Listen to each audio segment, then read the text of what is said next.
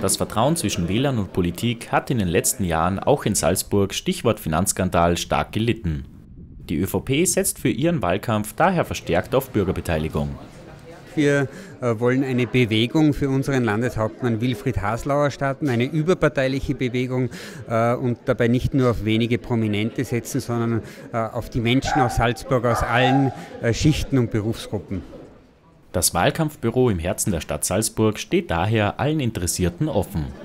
Wir wollen uns nicht in der Parteizentrale verstecken, sondern auf die Menschen zugehen und sie zum Dialog, zum Mitmachen, zum Mitdiskutieren, zum Mitstreiten einladen. Es geht uns darum, einfach die Breite unserer äh, Volkspartei darzustellen und auch die vielen verschiedenen Themen, die wir abdecken. Äh, und ich bin überzeugt davon, dass das der richtige Weg ist, äh, um auch ein gutes Wahlergebnis zu erreichen. Vor allem bei den Jungen kommt dieses Angebot gut an. Schließlich sollte man sich vor einer Wahl gut informieren. Ich bin sehr positiv überrascht, äh, wie stark qualitativ und inhaltlich äh, die Jugendlichen sich einbringen, auch kritisch, aber das ist auch gut so.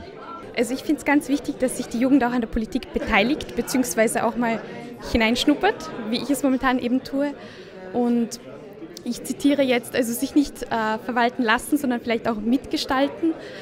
Und ich glaube, das ist einfach ein Anliegen, was mir persönlich sehr am Herzen liegt. Deshalb bin ich hier. Ja, also wir merken das, dass gerade junge Leute das mögen, dass da, wenn sie spazieren gehen in der Stadt Salzburg, einfach einmal vorbeischauen und interessiert sind und da einfach niederschwellig sich ein Angebot abholen können. Aber wie du sagst, auch eben mit Politikern ins Gespräch kommen können, weil es ist immer wer von uns da und man kann einfach über Themen diskutieren und man kriegt auch ganz viel Rückmeldung, was einfach falsch läuft oder wo man vielleicht noch ansetzen kann. Wichtige Themen, die in der nächsten Legislaturperiode anstehen, gibt es genug. Unter anderem die Dauerthemen Wohnbau und öffentlicher Verkehr.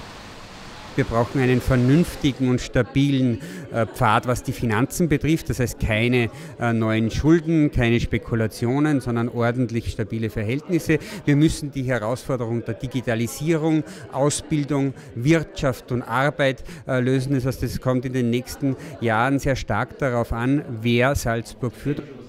Welche Richtung unser Bundesland in den nächsten fünf Jahren einschlagen soll, entscheiden rund 390.000 Wahlberechtigte. Ja, wählen gehen ist ein großes Privileg und ich finde es sehr traurig, dass das einigen Menschen offenbar nicht bewusst ist.